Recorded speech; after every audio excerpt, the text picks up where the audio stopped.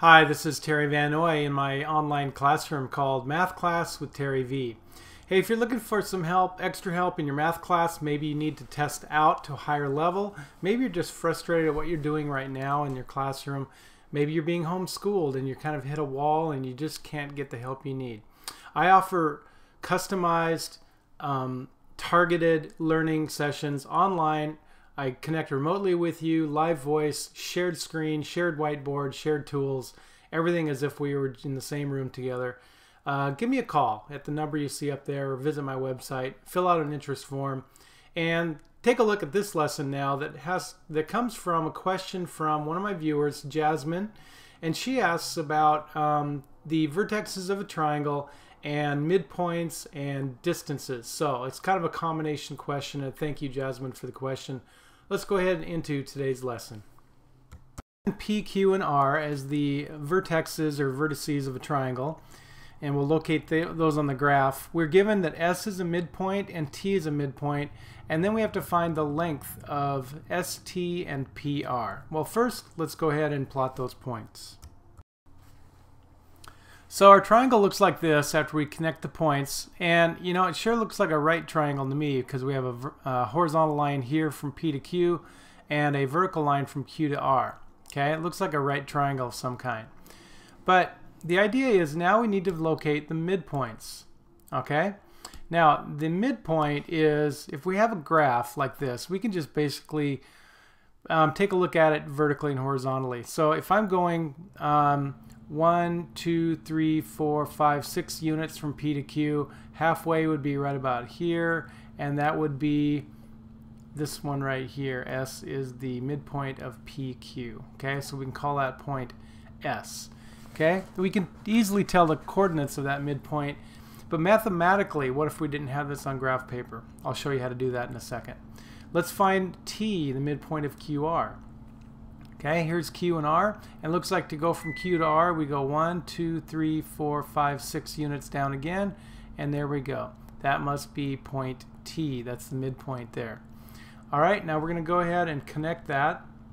And let's connect those together. And we have our line segment ST, which we're trying to find the distance of. Okay, but first, midpoint. All right, the midpoint between any two other points is actually the average of the x's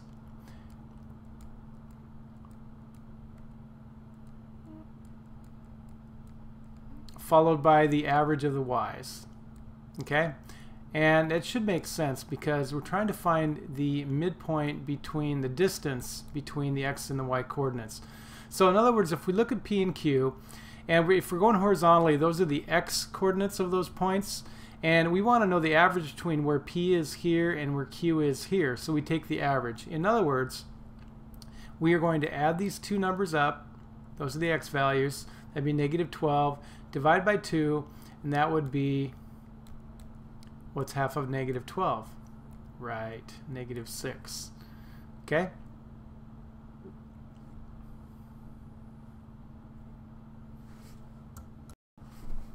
The y-coordinate being nothing more than the average of these y-coordinates here. So 7 plus 7 is 14, divided by 2 is 7. Alright, so if we look at where we put point S, obviously that's 6 back on the x-axis and 7 up on the y-axis. Negative 6, comma, 7. Alright, let's look at the QR midpoint. Again, we are going to add these two up. Negative 6 divided by 2 would be negative 3. Okay, average the y points. What's 7 plus 1? 8 divided by 2 is 4. There we go. It should be at negative 3, 1, 2, 3, positive 4, 1, 2, 3, 4. There we go. So we have S and T. Now we're going to use the distance formula, or the Pythagorean theorem formula, to find the distance ST and the distance PR. All right, I'm going to change colors here. Let's go to red. Now the idea is that for S and T, that's the hypotenuse of a right triangle because we know this is a right angle. Plus we know that's a horizontal line and a vertical line. So if we have three units going across from S to Q and 3 units going down happens to be the same in this case, 3 and 3. So now we have the 3 distance squared plus the other 3 distance squared, but we're going to take the square root of that. All right? That is going to give me my actual distance from S to T. All right? So 9 plus 9 is 18, so it's the square root of 18. Okay? Square root of 18. All right, we can leave it in radical form or we can actually put it in the calculator and find out the actual, uh, the approximate decimal value of that. But now PR. Now, do we just assume it's going to be twice as long? Well, let's see. If we're going to go from P down to where R is, how many units is that? One, two, three, four, five, six. That's a sixth leg of a right triangle. If we go across here, looks like we actually go over six. So it's a six leg, six leg right triangle. Again, to find the distance, we're going to square each of those legs, six squared, and then add the results together. So 36 plus 36 is square root of 72. Now I can simplify those radicals, um, but we'll go ahead and leave it in that form right there. All right, Jasmine, thank you very much for the question. And it has to do with right triangles, Pythagorean theorem, distance formula, and midpoints. That's a great combination problem.